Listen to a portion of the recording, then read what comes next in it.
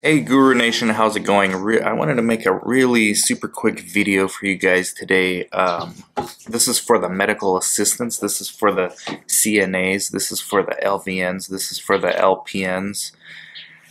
Any position in healthcare along those lines, um, which is considered like an entry level role, usually they're constricted by upward mobility you know, those are valuable jobs, very rewarding positions, whether they're in offices or hospitals or nursing homes.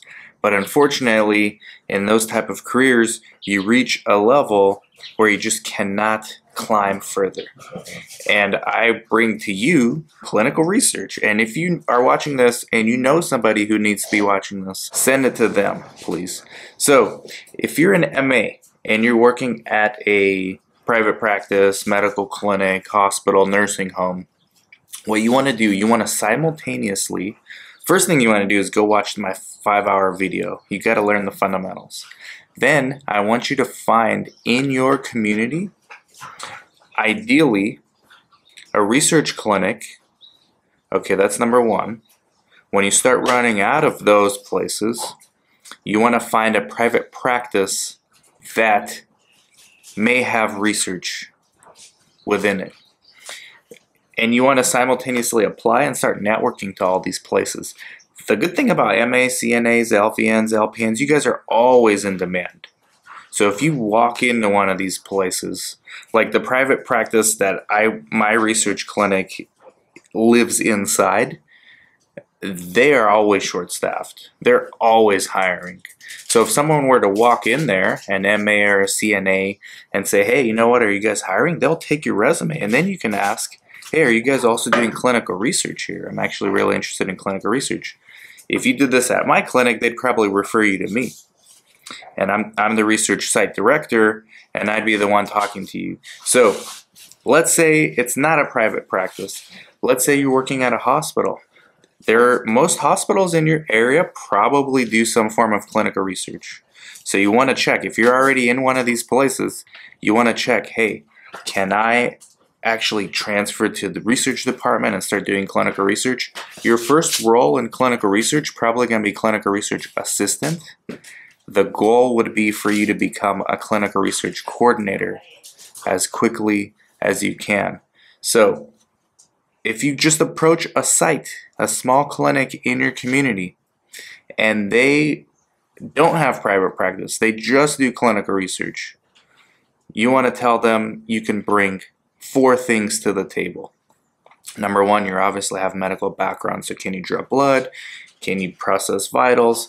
All those things are important to them. Number two, you have patient interaction, most likely, so you can help with patient recruitment, you can help with patient pre-screening, you understand medications. The MAs and CNAs and LVNs in my office, I'm amazed at how many medications they know. Like way more than the average Joe and Jane because of the nature of the work they do.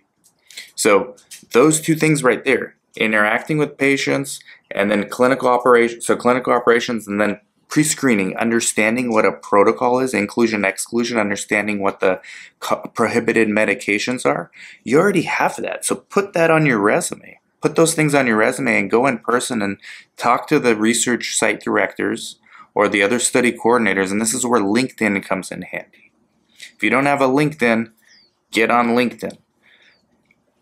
Next thing sites need help with, getting studies. So clinicaltrials.gov you can find studies and you can you will know what kind of studies the sites that you are applying to work on. If not, guess what you got to do? You got to stalk their website, you got to stalk their socials, you got to stalk their LinkedIn, their Instagram and see what they're recruiting for. What are they advertising for? Is it osteoarthritis of the knee?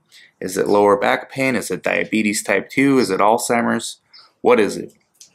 Number this leads us to number four, social media presence. Okay, social media, those things you just stalk them on, first of all, you find out if they actually have those things. Do they have Instagram? Do they have a Facebook? Do they have a LinkedIn? Do they have a TikTok? If not, you can approach those sites and say, hey, I can create and manage these things for you. Like, try me out. Let me volunteer. Give me experience so I could put on my resume. I really want to get into clinical research. It's just the act of doing this, the act of pursuing. Even if you'll get rejected nine out of 10 times, that one out of 10 appreciates somebody taking the initiative and the resolve on their own to go out there and create opportunities for themselves. All right. So I want to go back to finding studies on clinicaltrials.gov. Once you stalk them and find out what kind of studies they're they're advertising for, you want to go on clinicaltrials.gov, put in those therapeutic indications one at a time, and look at the studies that are out there, and you'll be able to see, okay, I can start applying for this study, osteoarthritis. Here's the study contact. You could probably find 10, 15, 20 studies for them and you don't need to email them. You just go into the site with an Excel file of all the potential studies they could be applying for and tell them I can do this for you on a weekly basis if you want. All I want is some experience to shadow. By the way, all four of these strategies don't just apply to MAs, CNAs, LVNs, LPNs, but you guys have the most practical skill set already. A lot of transferable skills that you can bring on over to clinical research. You don't even know about it. The best thing about this industry is no glass ceilings, upward mobility like crazy, exponentially faster and higher growth potential and earning potential than what you're currently doing. Guaranteed. Like, subscribe, comment, share. Wanted to make this one for you guys, especially for all the new TikTokers. Take care.